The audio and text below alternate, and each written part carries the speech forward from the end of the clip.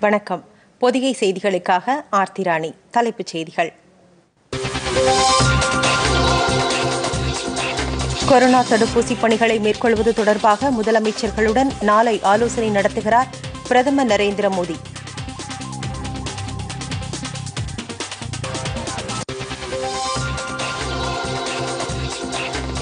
தேசிய நெடுஞ்சாலைகளை வனவிலங்குகள் பாதுகாப்பாக கடப்பதற்கு ஆயிரத்தி இருநூறு கோடி ரூபாய் மதிப்பில் கட்டமைப்பு திட்டங்கள் மேற்கொள்ளப்படும். சுற்றுச்சூழல் துறை அமைச்சர் பிரகாஷ் ஜவடேகர்.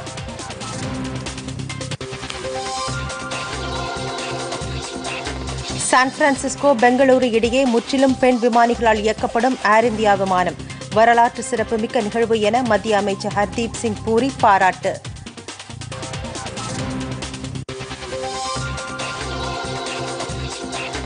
குறுகிய காலத்தில் உலகின் இரண்டாவது பெரிய தனிநபர் பாதுகாப்பு உபகரண உற்பத்தி நாடாக மாறியுள்ளது இந்தியா. ஜவுளித்துறை அமைச்சர் ஸ்மிருதி இரானி பெருமிதம்.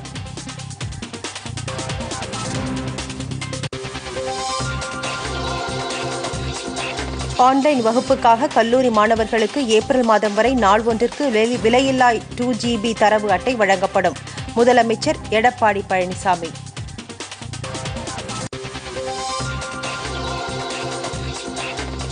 ஆஸ்திரேலியாவிற்கு எதிரான டெஸ்ட் கிரிக்கெட் போட்டி நான்காவது நாளாக இன்று ஆட்ட நேர இறுதியில் இரண்டாவது இன்னிங்ஸில் இரண்டு விக்கெட் இழப்பிற்கு தொன்னூற்றி எட்டு ரன் எடுத்துள்ளது இந்தியா. விரிவான செய்திகள். நாடு முழுவதும் கொரோனா தடுப்பூசி வரும் பதினாறாம் தேதி முதல் போடப்படும் என மத்திய அரசு அறிவித்துள்ள நிலையில் அனைத்து மாநிலங்கள் மற்றும் யூனியன் பிரதேசங்களில் முதலமைச்சர்களுடன் பிரதமர் நரேந்திர மோடி நாளை ஆலோசனை நடத்துகிறார்.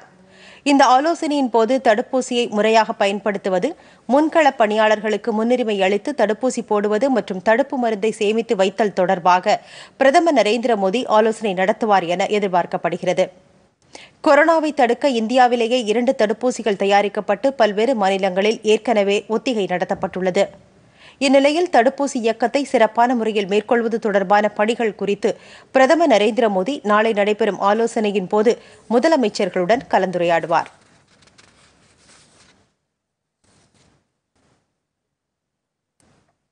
உலகிலேயே மிகப்பெரிய கொரோனா தடுப்பூசி இயக்கம் இந்தியா முழுவதும் வரும் பதினாறாம் தேதி முதல் தொடங்குகிறது. அன்றைய தினம் தடுப்பூசி போடும் பணிகள் தொடங்கும் என மத்திய அரசு அதிகாரப்பூர்வமாக அறிவித்துள்ளது. கொரோனா நிலவரம் மற்றும் தடுப்பு மருந்துகளின் தயார் நிலை குறித்து பிரதமர் நரேந்திர மோடி நேற்று ஆய்வு நடத்தினார். பிரதமர் தலைமையில் நடைபெற்ற இந்த உயர்மட்ட ஆய்வுக் கூட்டத்தில் அமைச்சரவை செயலாளர் பிரதமரின் முதன்மை செயலாளர் சுகாதாரத்துறை செயலாளர் மற்றும் இதர முக்கிய அதிகாரிகள் கலந்து கொண்டனர். கொரோனா மேலாண்மை குறித்த நிலைமை பாதுகாப்பு மற்றும் செயல்திறனை நிரூபித்த இரண்டு தடுப்பூசிகளின் அவசர கால ஒப்புதல் போன்ற பல்வேறு விஷயங்கள் குறித்து அப்போது விவாதிக்கப்பட்டது. மாநில அரசுகள் மற்றும் யூனியன் பிரதேசங்களுடன் ஒருங்கிணைந்து தேர்தலுக்கான அனுபவங்களைப் போல தடுப்பு மருந்து போடும் பணிகளும் தயார் நிலையில் இருப்பதாக பிரதமருக்கு அதிகாரிகள் எடுத்துரைத்தனர். கொரோனா தடுப்பூசி ஒத்திகை நிகழ்ச்சிகள் நடத்தப்பட்டது குறித்தும் பிரதமரிடம் விரிவாக எடுத்துரைக்கப்பட்டது. இதனைத் தொடர்ந்து வரும் பதினாறாம் தேதி முதல் நாடு முழுவதும் கொரோனா தடுப்பூசி போடும் பணிகளை தொடங்குவது என முடிவு செய்யப்பட்டுள்ளது. முதற்கட்டமாக சுகாதாரம் மற்றும் முன்களப் பணியாளர்கள் மூன்று கோடி பேருக்கும் பின்னர் ஐம்பது வயதிற்கும் மேற்பட்ட மற்- பல்வேறு உடல் உபாதைகள் உள்ளவர்கள் உள்ளிட்ட இருபத்தி ஏழு கோடி பேருக்கும் தடுப்பூசிகள் வழங்கப்படும் என்று மத்திய சுகாதார அமைச்சகம் தெரிவித்துள்ளது. இது தொடர்பாக தமது ட்விட்டர் பக்கத்தில் குறிப்பிட்டுள்ள பிரதமர் நரேந்திர மோடி மத்திய அரசின் கொரோனா தடுப்பூசி தொடக்கம் உலக அளவில் ஒரு சாதனை நிகழ்வு என்று குறிப்பிட்டுள்ளார். இரண்டாவது தேசிய இளைஞர் நாடாளுமன்ற விழாவில் பிரதமர் நரேந்திர மோடி நாளை மறுநாள் காணொலி காட்சி வாயிலாக நிறைவுரையாற்ற உள்ளார் மத்திய இளைஞர் நலன் மற்றும் விளையாட்டுத்துறை அமைச்சகம் இந்த விழாவிற்கு ஏற்பாடு செய்துள்ளது. சுவாமி விவேகானந்தரின் பிறந்த நாளை முன்னிட்டு ஒரு வார காலத்திற்கு நடைபெறும் இந்த விழாவின் நிறைவு நிகழ்ச்சி நாளை மறுநாள் நடைபெறுகிறது. காணொலி காட்சி வாயிலாக இந்த ஆண்டு இந்த விழா நடைபெற்று வருகிறது. இந்த விழாவில் கலை நிகழ்ச்சிகள் தற்காப்பு கலைகள் கண்காட்சிகள் இளம் கலைஞர்களின் கைவினைப் பொருட்கள் கண்காட்சி கருத்தரங்கங்கள் சாகச நிகழ்ச்சிகள் உள்ளிட்ட பல்வேறு அம்சங்கள் இடம்பெற்று வருகின்றன.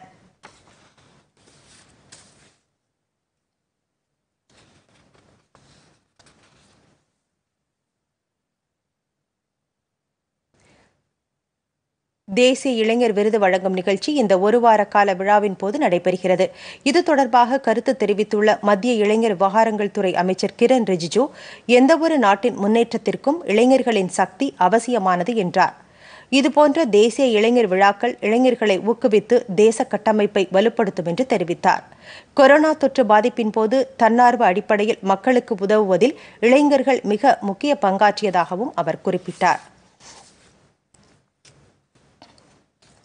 தேசிய நெடுஞ்சாலைகளை வனவிலங்குகள் பாதுகாப்பான முறையில் கடப்பதற்காக ஆயிரத்தி இருநூறு கோடி ரூபாய் செலவில் கட்டமைப்புகள் மேற்கொள்ளப்படும் என்று மத்திய சுற்றுச்சூழல் துறை அமைச்சர் பிரகாஷ் ஜவடேகர் கூறியுள்ளார். டுவிட்டரில் இது தொடர்பாக அவர் வெளியிட்டுள்ள பதிவில் இந்த தொகை மத்திய சாலை போக்குவரத்து மற்றும் நெடுஞ்சாலைத்துறை அமைச்சகம் செலவு செய்யும் என்று அவர் தெரிவித்தார். பெஞ்ச் தேசிய பூங்கா வழியாக செல்லும் நாக்பூர் ஜபல்பூர் தேசிய நெடுஞ்சாலையில் சுரங்கப்பாதை அமைக்கப்படும் என்றும் அவர் கூறினார். இதேபோல் கச்ரோலி சந்திரபூர் சிமூர் வதோத்ரா ஆகிய நெடுஞ்சாலைகளிலும் வனவிலங்குகள் பாதுகாப்பாக செல்ல ஏதுவாக சுரங்க கட்டமைப்புகள் ஏற்படுத்தப்படும் என்று அமைச்சர் குறிப்பிட்டார்.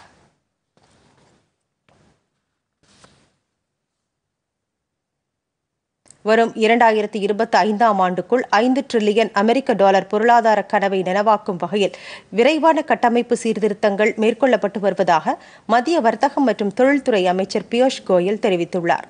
புதுதில்லியில் வெளிநாடு வாழ் இந்தியர்களின் பதினாறாவது மாநாட்டில் நேற்று உரையாற்றிய அவர் இந்தியாவின் உற்பத்தி திறன் செயல்திறன் தரம் ஆகியவற்றில் ஒரே நேரத்தில் மாற்றங்களை கொண்டுவர ஒருங்கிணைந்து பணியாற்றி வருவதாக கூறினார். இதன் மூலம் நாட்டின் ஏற்றுமதி நடவடிக்கைகளில் இந்திய தொழில்துறை தனது தடத்தை ஆழமாகவும் மிகப்பெரிய அளவிலும் விரிவுபடுத்திக் கொள்ள முடியும் என்று அவர் கூறினார். உலக அளவில் புதிய சந்தைகளில் உள்நாட்டு தயாரிப்புகளை கொண்டு சேர்க்க அவற்றை கண்டறியும் பணியில் மத்திய அரசு தீவிரமாக ஈடுபட்டுள்ளதாகவும் அமைச்சர் பியூஷ் கோயல் குறிப்பிட்டார்.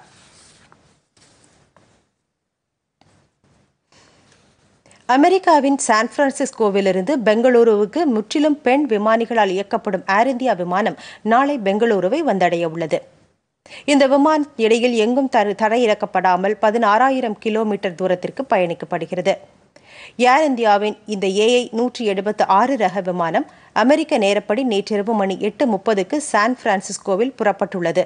இந்த விமானம் இந்திய நேரப்படி நாளை அதிகாலை மணி மூன்று நாற்பத்தி ஐந்திற்கு பெங்களூருவில் தரையிறங்குகிறது. வடதுருவத்தின் வழியாக சவால் நிறைந்த பயணத்தை முற்றிலும் பெண் விமானிகளே மேற்கொண்டு இந்த விமானத்தை இயக்குகின்றனர். இது தொடர்பாக ட்விட்டரில் கருத்து தெரிவித்துள்ள சிவில் விமான போக்குவரத்து துறை அமைச்சர் ஹர்தீப் சிங் பூரி ஏர் இந்தியாவின் மகளிர் குழுவினர் தற்போது மிக உயரத்தை எட்டியிருப்பதாக கூறியுள்ளார். இந்த வரலாற்று சிறப்புமிக்க பயணத்தில் பங்கேற்றுள்ள பெண் விமானிகள் சோயா அகர்வால் அகன்ஷா சோன்வர் ஷிவானி மன்ஹோஸ் உள்ளிட்டோரை கொண்ட மகளிர் குழுவினருக்கு வாழ்த்துக்களை தெரிவிப்பதாக அவர் கூறியுள்ளார்.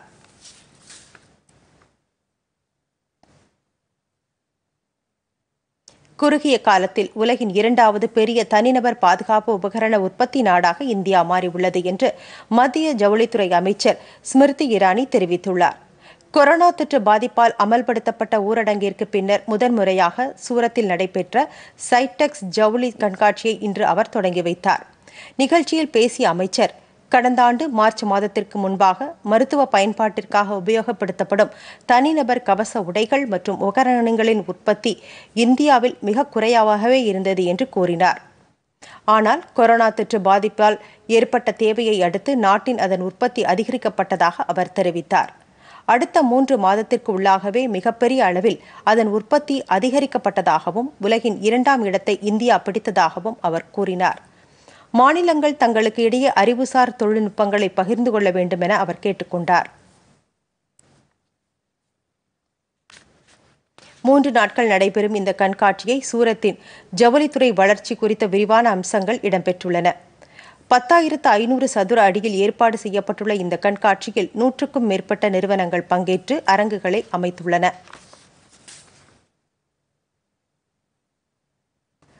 ஆன்லைன் வகுப்பு பயன்பாட்டிற்காக கல்லூரி மாணவர்களுக்கு இந்த மாதம் முதல் ஏப்ரல் மாதம் வரை நாள் ஒன்றுக்கு இரண்டு ஜிபி தரவு பெற்றிட விலையில்லா தரவு அட்டை வழங்க தமிழக அரசு உத்தரவிட்டுள்ளது. இதுகுறித்து தமிழக முதலமைச்சர் எடப்பாடி பழனிசாமி வெளியிட்டுள்ள அறிக்கையில் கொரோனா தொற்று காரணமாக கல்லூரிகள் மூடப்பட்டுள்ளதால் இணையவழி வகுப்புகளில் மாணவர்கள் கலந்து கொள்வதற்கு உதவியாக இந்த திட்டம் அறிமுகம் செய்யப்படுவதாக கூறினார். மேலும் அரசு எடுத்து வரும் பல்வேறு நடவடிக்கைகளின் காரணமாக உயர்கல்வி பயிலும் மாணாக்கரின் சேர்க்கை விகிதம் தமிழகத்தில் முப்பத்தி இரண்டிலிருந்து நாற்பத்தி ஒன்பது சதவீதமாக அதிகரித்துள்ளது என்று அவர் தெரிவித்தார்.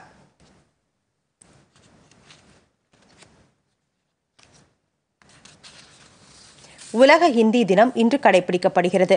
உலக அளவில் ஹிந்தி மொழி பயன்பாட்டை மேம்படுத்தும் நோக்கத்துடன் ஆண்டுதோறும் ஜனவரி மாதம் பத்தாம் தேதி இந்த தினம் கடைபிடிக்கப்பட்டு வருகிறது. கடந்த ஆயிரத்து தொள்ளாயிரத்து எழுபத்தைந்தாம் ஆண்டு மகாராஷ்டிரா மாநிலம் நாக்பூரில் முதலாவது உலக ஹிந்தி மாநாடு நடைபெற்ற தினத்தை குறிக்கும் வகையில் இந்த தினம் ஒவ்வொரு ஆண்டும் கடைபிடிக்கப்பட்டு வருகிறது.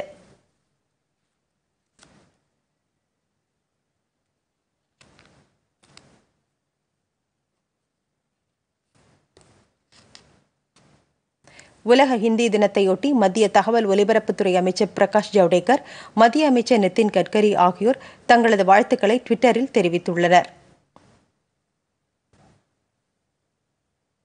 சிறிய இடைவேளைக்கு பிறகு செய்திகள் தொடரும். பொதிகை செய்தி பிரிவு வழங்கும் பொது அறிவு களஞ்சியம். உலகம் இந்த வாரம்.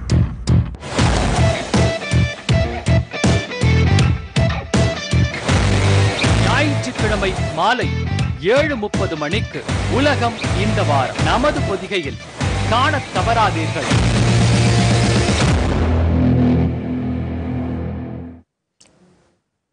தொடர்வது விரைவு செய்திகள்.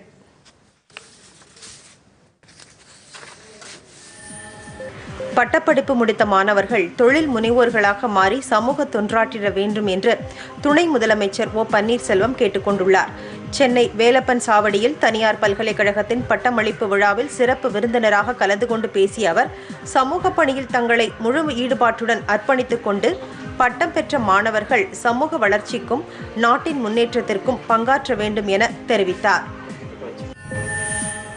மத்திய அரசு தமிழகத்திற்கு வழங்க வேண்டிய சரக்கு மற்றும் சேவை வரி தொகை முழுமையாக வழங்கப்படவில்லை என்றும் மாநில அரசு விரைந்து கேட்டுப்பெற வேண்டும் என்றும் திமுக தலைவர் மு க ஸ்டாலின் கூறியுள்ளார். சென்னை ராயபுரத்தில் அக்கட்சியின் மக்கள் கிராம சபை கூட்டத்தில் பேசிய அவர் திமுக ஆட்சி காலத்தில் பெண்களின் முன்னேற்றத்திற்காக பல்வேறு திட்டங்களை செயல்படுத்தப்பட்டதாக தெரிவித்தார். தருமபுரி அருகே நல்லம்பள்ளி பகுதியில் நாணயங்களின் மூலம் குடிநீர் வழங்கும் சுத்திகரிப்பு நிலையத்தை உயர்கல்வித்துறை அமைச்சர் கே பி அன்பழகன் இன்று திறந்து வைத்தார். இதன் மூலம் ஐந்து ரூபாய் நாணயம் செலுத்தினால் பதினெட்டு லிட்டர் குடிநீரும் ஒரு ரூபாய் நாணயம் செலுத்தினால் ஒரு லிட்டர் குடிநீரும் கிடைக்கும் வகையில் இந்த குடிநீர் சுத்திகரிப்பு நிலையம் தடங்கம் ஊராட்சியில் வடிவமைக்கப்பட்டுள்ளது. இதனைத் தொடர்ந்து காரிமங்கலம் அருகே சுமார் நாற்பத்தைந்து லட்சம் ரூபாய் மதிப்பீட்டில் நெடுஞ்சாலைத்துறையின் வளர்ச்சி திட்ட பணிகளையும் அவர் தொடங்கி வைத்தார். கிராமப்புற மக்கள் அச்சமின்றி குற்ற சம்பவங்கள் குறித்த புகார்களை காவல் நிலையங்களில் தெரிவிக்க வேண்டும் என்று தென் மண்டல ஐஜி முருகன் கூறியுள்ளார். ராமநாதபுரம் மாவட்டம் பரமக்குடி அருகே மேலப்பெருங்கரை கிராமத்தில் நடைபெற்ற கிராமப்புற காவலர் திட்டத்தை தொடங்கி வைத்து பேசிய அவர் கிராமப்புற காவலர் திட்டத்தின் வாயிலாக மாவட்டத்தில் உள்ள நானூற்றி இருபத்தி ஏழு கிராமங்களிலும் உதவி காவலர் ஒருவர் நியமிக்கப்பட்டு மக்களிடமிருந்து புகார்கள் பெறப்பட்டு உடனடியாக நடவடிக்கைகள் எடுக்கப்படும் என்று கூறினார். ஜல்லிக்கட்டு போட்டிகளை காண வரும் பார்வையாளர்களுக்கு காய்ச்சல் பரிசோதனை செய்த பின்னரே போட்டிகளை பார்வையிட அனுமதிக்கப்படுவார்கள் என மாநில வருவாய்த்துறை அமைச்சர் ஆர் பி உதயகுமார் தெரிவித்துள்ளார். மதுரை மாவட்டம் அலங்காநல்லூரில் வரும் பதினாறாம் தேதி ஜல்லிக்கட்டு போட்டி நடைபெறவுள்ள நிலையில் இதற்கான கால்கோள் விழாவில் கலந்து கொண்டு பேசிய அவர் ஜல்லிக்கட்டு போட்டியை காண வரும் பார்வையாளர்களுக்கு தனிமனித இடைவெளி விட்டு இருக்கைகள் அமைக்க ஏற்பாடு செய்யப்படும் என்று கூறினார். பொதுமக்களின் பிரச்சினைகளுக்கு தீர்வாக காவல்துறையினர் திகழ வேண்டும் என்று மேற்கு மண்டல காவல்துறை தலைவர் பெரியய்யா தெரிவித்துள்ளார். கோவை மாவட்டம் பொள்ளாச்சி உட்கோட்ட காவல் நிலைய பகுதிகளின் ஐம்பத்தோரு கிராமங்களில் கிராம கண்காணிப்பு காவலர் அறிமுக விழாவில் கலந்து கொண்டு பேசிய அவர் பண்டிகை காலங்களில் பொதுமக்கள் சுதந்திரமாக வெளியில் வந்து செல்வதற்கான சூழலை உறுதி செய்ய வேண்டியது காவல்துறையின் கடமையாகும் என்று தெரிவித்தார். எல்லை தாண்டி மீன் பிடித்ததாக கூறி ராமேஸ்வரம் மீனவர்கள் ஒன்பது பேரை இலங்கை கடற்படை கைது செய்துள்ளது. மீன்வளத்துறையின் அனுமதி பெற்று ராமேஸ்வரம் மீனவர்கள் நானூறுக்கும் மேற்பட்ட படகுகளில் நேற்று கடலுக்குள் மீன்பிடிக்கச் சென்றனர். அப்போது ரோந்து பணியில் ஈடுபட்டு வந்த இலங்கை கடற்படையினர் ஒரு விசைப்படகையும் அதில் இருந்த ஒன்பது பேரையும் சிறைப்பிடித்து இலங்கை காங்கேசரன் துறை முகாமுக்கு கொண்டு சென்றுள்ளனர். இந்நிலையில் ஏற்கனவே இலங்கையில் சிறையில் உள்ள நாற்பத்து மூன்று மீனவர்கள் தற்போது கைது செய்யப்பட்டுள்ள ஒன்பது மீனவர்கள் மற்றும் அவர்களின் மீன்பிடி சாதனங்கள் அனைத்தையும் உடனே மீட்டுத்தர மத்திய மாநில அரசுகள் நடவடிக்கை எடுக்க வேண்டும் என்று மீனவர்கள் கேட்டுக்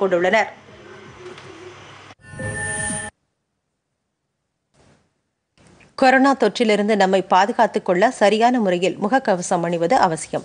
இதுகுறித்து நாடு தழுவிய விழிப்புணர்வு இயக்கத்தை டிடி நியூஸ் செய்தி அலைவரிசை மேற்கொண்டு வருகிறது. உலகின் ஒட்டுமொத்த மனித சமூகத்திற்கும் அச்சுறுத்தலாக கொரோனா வைரஸ் தொற்று விளங்கி வருகிறது. மத்திய மாநில அரசுகளின் சிறப்பான நடவடிக்கைகளால் இந்தியாவில் கொரோனா தொற்று பரவல் வேகம் படிப்படியாக குறைந்து வருகிறது. முகக்கவசம் அணிவது சமூக இடைவெளியை பின்பற்றுவது உள்ளிட்ட மத்திய அரசின் வழிகாட்டுதல்கள் மூலம் இது சாத்தியமாகி வருகிறது. மக்களுக்கு தடுப்பூசி போடும் பணிகள் விரைவில் தொடங்கும் என்று எதிர்பார்க்கப்படுகிறது.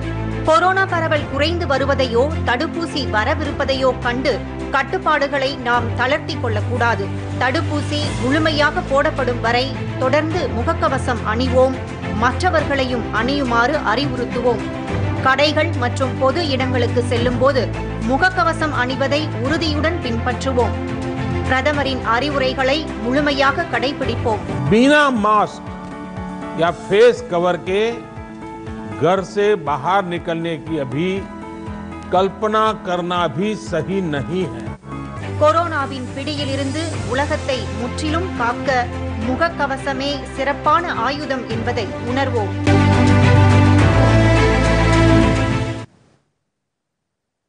தொடர்வது உலகச் செய்திகள்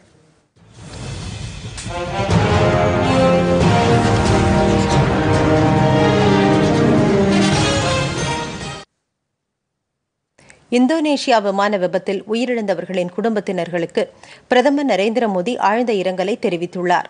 இது தொடர்பாக அவர் வெளியிட்டுள்ள ட்விட்டர் பதிவில் இந்த வருத்தமான சூழலில் இந்தியா இந்தோனேஷியாவிற்கு துணை நிற்பதாக கூறியுள்ளார்.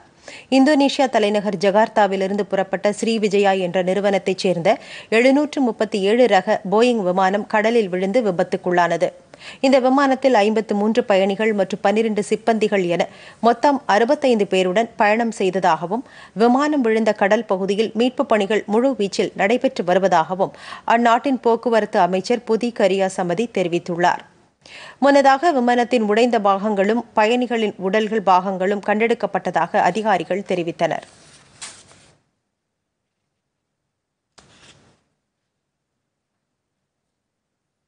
கஜகஸ்தான் நாட்டின் நாடாளுமன்ற தேர்தல் இன்று நடைபெற்றது.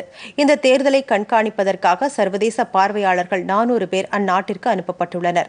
ஐந்து கட்சிகளைச் சேர்ந்த முன்னூற்று பனிரெண்டு வேட்பாளர்கள் இந்த தேர்தலில் களத்தில் உள்ளனர். ஒவ்வொரு கட்சிகளும் ஏழு சதவீத வாக்குகளை பெற வேண்டியது அவசியமாகிறது. நடப்பு நாடாளுமன்றத்தில் மூன்று கட்சிகள் இடம்பெற்றிருந்த நிலையில் கூடுதலாக இரண்டு கட்சிகள் இந்த தேர்தலில் போட்டியிடுகின்றன. கடந்த ஆண்டு அந்நாட்டில் பெண்களும் இளைஞர்களும் அரசியலில் ஆதிக்கம் அதிகம் பங்கெடுத்து அவர்களுக்காக முப்பது சதவீத இடஒதுக்கீடு வழங்கி சட்ட திருத்தம் மேற்கொள்ளப்பட்டிருந்தது. அந்நாட்டின் நாடாளுமன்றத்திற்கு கீழ் அவை மற்றும் மேலவை என இரண்டு அவைகள் உள்ளன. தற்போது நடைபெறும் கீழ் அவைக்கான இந்த தேர்தலில் நூற்றி ஏழு பேர் தேர்ந்தெடுக்கப்பட உள்ளனர். ஆப்கானிஸ்தான் தலைநகர் காபோலில் நடைபெற்ற குண்டுவெடிப்பு சம்பவத்தில் பாதுகாப்பு படை வீரர் ஒருவர் உட்பட மூன்று பேர் உயிரிழந்துள்ளனர். கத்தாரில் ஆப்கான் அரசு அதிகாரிகளுக்கும் தாலிபான்களுக்கும் இடையே அமைதி பேச்சுவார்த்தை நடைபெற்று வரும் நிலையில் இந்த தாக்குதல் சம்பவம் நடைபெற்றுள்ளது. ஆப்கானிஸ்தானின் கல்வி நிலையம் ஒன்றில் சமீபத்தில் நிகழ்ந்த குண்டுவெடிப்பு சம்பவம் உட்பட சமீபத்தில் தாக்குதலுக்கு பொறுப்பேற்றுக் கொண்ட ஐஎஸ் தீவிரவாத அமைப்பு பொறுப்பேற்றுக் கொண்டிருந்தது. ஆனால் இன்று நடைபெற்ற குண்டுவெடிப்பு சம்பவத்திற்கு எந்த அமைப்பும் இதுவரை பொறுப்பேற்கவில்லை.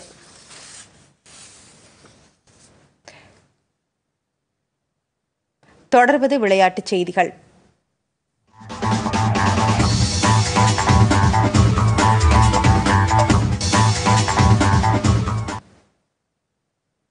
சிட்னியில் நடைபெற்று வரும் டெஸ்ட் கிரிக்கெட் போட்டியின் நான்காவது நாளான இன்று இந்திய அணி வெற்றி பெற நானூற்று ஏழு என்ற இலக்கை ஆஸ்திரேலியா நிர்ணயித்துள்ளது.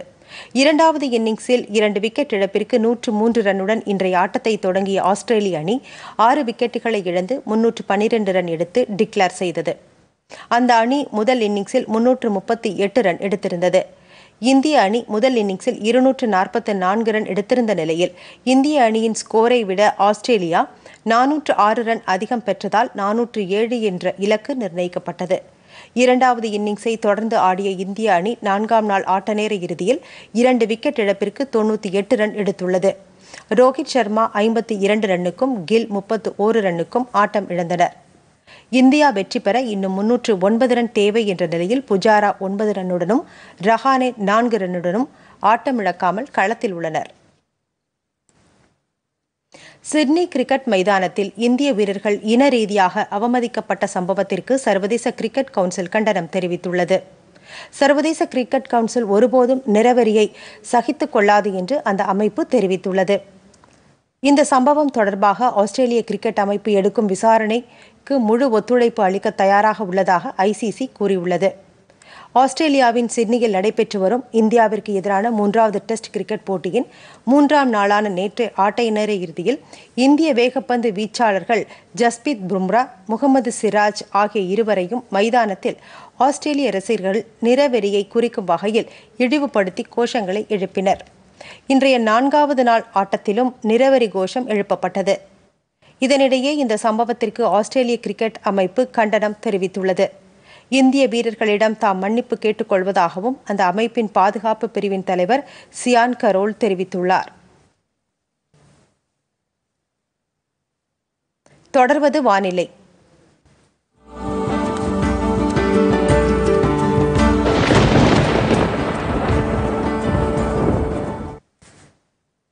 இலங்கை மற்றும் குமரி கடல் பகுதியை ஒட்டி நிலவும் வளிமண்டல மேலடுக்கு சுழற்சி காரணமாக அடுத்த இருபத்தி நான்கு மணி நேரத்திற்கு தமிழகம் மற்றும் புதுவையில் பெரும்பாலான இடங்களில் லேசானது முதல் மிதமான மழைக்கு வாய்ப்புள்ளதாக வானிலை ஆய்வு மையம் தெரிவித்துள்ளது. திருச்சி மதுரை விழுப்புரம் புதுவை அரியலூர் பெரம்பலூர் மாவட்டங்களில் மிதமான மழையும் திருநெல்வேலி புதுக்கோட்டை சிவகங்கை டெல்டா மாவட்டங்கள் கடலூர் மற்றும் காரைக்கால் பகுதிகளில் கனமழையும் பெய்யக்கூடும் என்று அந்த மையம் கூறியுள்ளது. ராமநாதபுரம் தூத்துக்குடி ஆகிய மாவட்டங்களில் ஓரிரு இடங்களில் மிக கனமழை பெய்ய வாய்ப்புள்ளதாகவும் சென்னை வானிலை ஆய்வு மையம் தெரிவித்துள்ளது. சென்னை மற்றும் புறநகர் பகுதிகளை பொறுத்தவரை அடுத்த நாற்பத்தி எட்டு மணி நேரத்திற்கு வானம் பொதுவாக மேகமூட்டத்துடன் காணப்படும் என்றும் நகரின் ஒரு சில பகுதிகளில் லேசானது முதல் மிதமான மழை பெய்யக்கூடும் என தெரிவிக்கப்பட்டுள்ளது. அதிகபட்ச வெப்பநிலை இருபத்தி ஒன்பது டிகிரி செல்சியஸாகவும் குறைந்தபட்ச வெப்பநிலை இருபத்தி நான்கு டிகிரி செல்சியஸாகவும் இருக்கும் என்று வானிலை மையம் தெரிவித்துள்ளது. இன்று முதல் பதினான்காம் தேதி வரை தென்மேற்கு வங்கக்கடல் குமரிக்கடல் மற்றும் மன்னார் வளைகுடா பகுதிகளில் மணிக்கு நாற்பத்தைந்து கிலோமீட்டர் முதல் ஐம்பத்தைந்து கிலோமீட்டர் வேகத்தில் சூறாவளி காற்று வீசக்கூடும் என்பதால் மீனவர்கள் அப்பகுதிகளில் கடலுக்குள் மீன்பிடிக்க செல்ல வேண்டாம் என அறிவுறுத்தப்பட்டுள்ளனர். மீண்டும் தலைப்புச் செய்திகள்.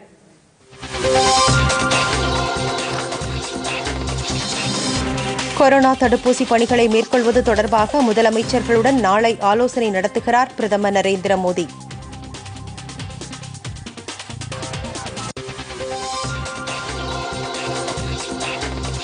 தேசிய நெடுஞ்சாலைகளை வனவிலங்குகள் பாதுகாப்பாக கடப்பதற்கு ஆயிரத்து இருநூறு கோடி ரூபாய் மதிப்பில் கட்டமைப்பு திட்டங்கள் மேற்கொள்ளப்படும். சுற்றுச்சூழல் துறை அமைச்சர் பிரகாஷ் ஜவடேகர்.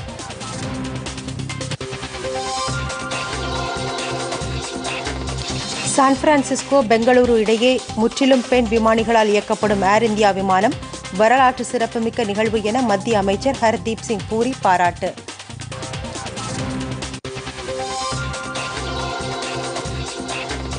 குறுகிய காலத்தில் உலகின் இரண்டாவது பெரிய தனிநபர் பாதுகாப்பு உபகரண உற்பத்தி நாடாக மாறியுள்ளது இந்தியா.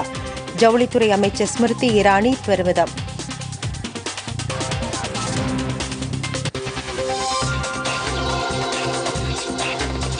ஆன்லைன் வகுப்புக்காக கல்லூரி மாணவர்களுக்கு ஏப்ரல் மாதம் வரை நாள் ஒன்றிற்கு விலையில்லா இரண்டு ஜிபி தரவு அட்டை வழங்கப்படும்.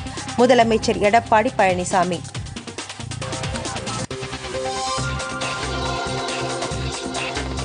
ஆஸ்திரேலியாவிற்கு எதிரான டெஸ்ட் கிரிக்கெட் போட்டி நான்காவது நாளான இன்று ஆட்ட நேர இறுதியில் இரண்டாவது இன்னிங்ஸில் இரண்டு விக்கெட் இழப்பிற்கு தொண்ணூற்றி எட்டு ரன் எடுத்துள்ளது இந்தியா. பொதிகை செய்திகளை யூடியூபில் தமிழ் நியூஸ் தூர்தர்ஷன் என்ற சேனலிலும் முகநூலில் டிடி பொதிகை நியூஸ் என்ற பக்கத்திலும் ட்விட்டரில் டிடி நியூஸ் சென்னை என்ற பக்கத்திலும் இன்ஸ்டாகிராமில் டிடி பொதிகை நியூஸ் என்ற பக்கத்திலும் காணலாம். மேலும் உங்கள் கருத்துக்களை Podhigai DD news at Gmail dot com என்ற மின் அஞ்சலிலும் தெரிவிக்கலாம். இத்துடன் செய்திகள் நிறைவடைந்தன. மீண்டும் செய்திகள் இரவு எட்டு மணிக்கு. வணக்கம்.